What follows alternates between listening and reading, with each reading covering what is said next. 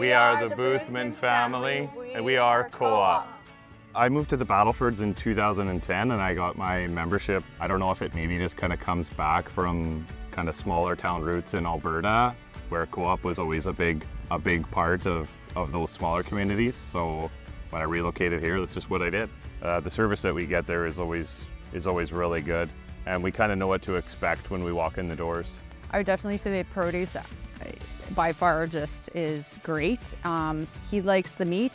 He's the one that cooks it. Um, the kids love all the aisles, like ice cream and cakes, and that definitely is our number one place. I would say that the co-op is just a lot more diverse in what they offer to the community.